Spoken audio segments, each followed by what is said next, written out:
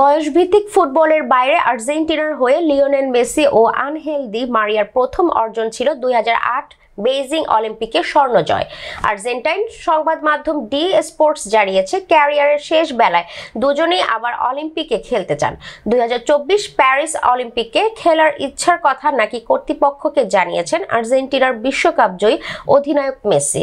Argentina অনূর্ধ্ব তেইশ দলের কোচ হ্যাভিয়ার ম্যাচারোনা ও সাবেক দুই সতীর্থ মেসি ও ডি মারিয়াকে অলিম্পিক দলে চান। অলিম্পিক ফুটবল অনূর্ধ্ব তেইশ দলের টুর্নামেন্ট হলেও স্কোয়াডে তিনজন বেশি বয়সী খেলোয়াড় থাকতে পারেন।